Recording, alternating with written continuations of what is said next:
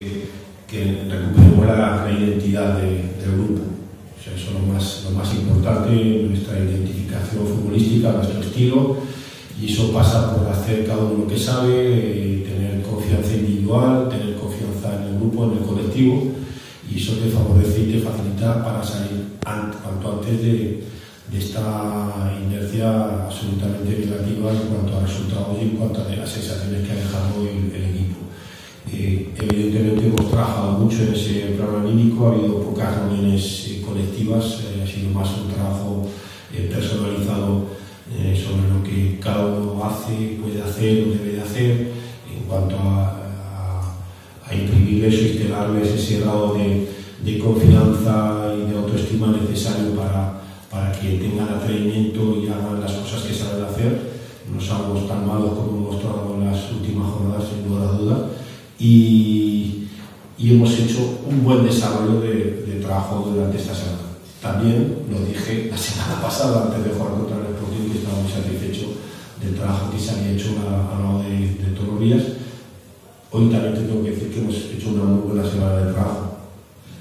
Respecto a esto de la cabeza, eh, que se lesione a mí como Atienza a mitad de semana, no sé si, ya no los problemas que crea, evidentemente, porque lo había jugado todo, sino dentro del grupo, ¿no? es decir, que, que, cuando hay una racha de, mala suerte, o se llama mala suerte, como quiera llamarlo también con las lesiones, eh, si ya trastocado precisamente esa confianza que intentaba transmitir a sus jugadores.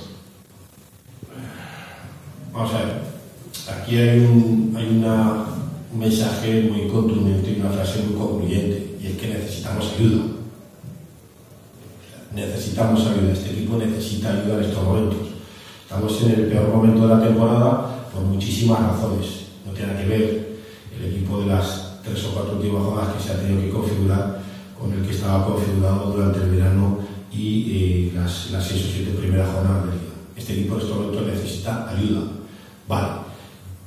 Tras lo dicho, no podemos perder la perspectiva de la realidad. Y la realidad la puedes eh, afrontar con optimismo o con pesimismo. Puedes elegir. Si eres optimista por naturaleza y además lo afrontas con la convicción de que vas a salir adelante, ese es el enfoque que tiene que tener el equipo y su entrenador. Tenemos que afrontar una realidad que es la que es con, con absoluto optimismo, con confianza y que todos los contratiempos que realmente nos están maltratando, nos están maltratando y además de una forma exageradísima, eh, no debe ser motivo para lamentarnos constantemente, para llorar, para etcétera, etcétera. Nosotros tenemos problemas, Las Palmas también tienen sus problemas, etcétera, etcétera. Y te toca afrontarlos en este momento de la temporada, en este mes.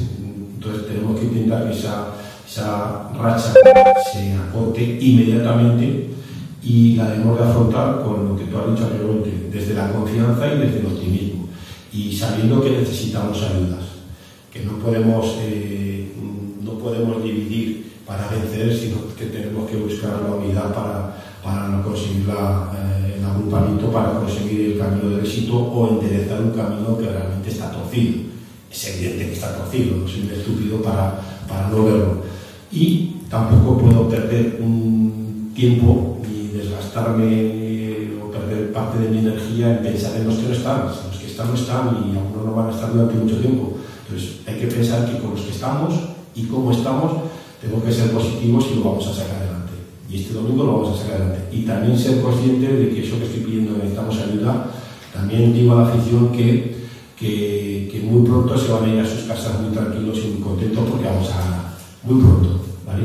Y que vamos a, darles motivos de nuevo ojalá ya este mismo domingo para que cuando vuelvan a sus casas se vayan orgullosos de su equipo, de lo que ha hecho su equipo y, y se vayan felices y contentos porque hemos conseguido la victoria y no desmoralizados, descorazonados, absolutamente pesimistas como se marcharon frente al, frente al Mirandés. Entonces, yo sé que es, es un mensaje, mm, bueno, claro, pero que es fácil, no es fácil agarrarse a él porque seguro que hay mucha gente que se ha bajado del barco, el barco de la ilusión el barco de la de la convicción, pero yo no me he bajado de ese barco, todo lo contrario, y sé que me toca liderar este, este proyecto con estas dificultades, pero con los que estamos vamos a estar.